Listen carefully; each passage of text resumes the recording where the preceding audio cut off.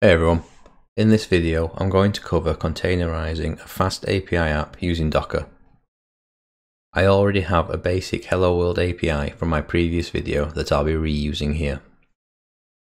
So the first thing we need to do is to create a Docker file. In here we specify the base Python image to build from.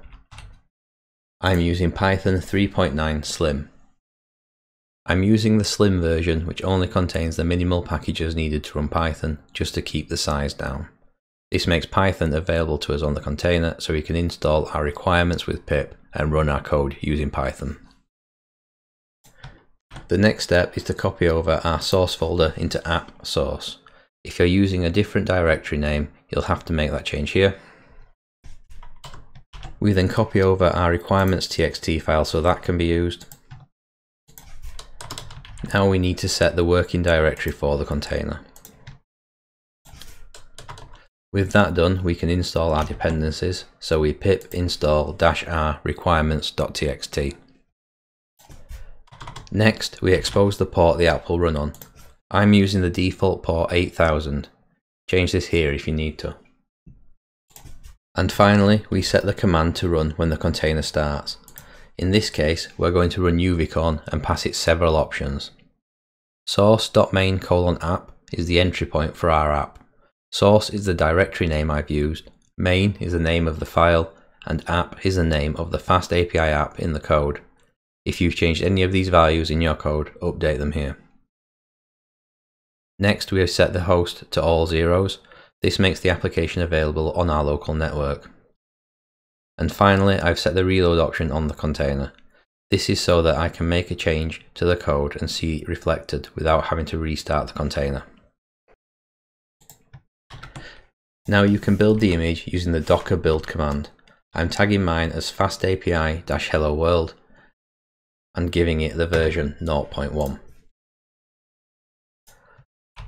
Once that's done, we can run the container using docker run, binding the port 8000 on the container to port 8000 on our machine. I've also given the container a name so we can interact with it later without using the container ID, and then I specify the tag from the build command. Now if we call our endpoint, we can see the API is running and returns our message, and in the terminal output from the container, you can confirm that. One last thing to note with FastAPI at the current version is that if you run this container, it will fail to exit if you try to close it using Ctrl C. This is due to an issue with the reload argument. A bug in uvicorn causes that to mess with the interrupt signal, so it doesn't stop this way. Instead, you can use the docker kill command, passing in the name given in the run command, in my case my-api, and that will kill the container. If you were to run this in a Docker Compose instead, that would automatically close the container after the default time period of 10 seconds.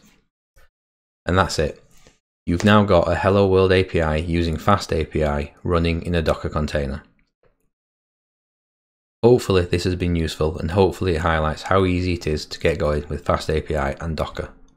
Please like and subscribe if you found this useful as I'll be making more videos diving deeper into FastAPI as well as covering other frameworks and other languages. If anything was unclear, please drop a comment below and I'll try to help out or check out the GitHub link in the description. Thanks for watching.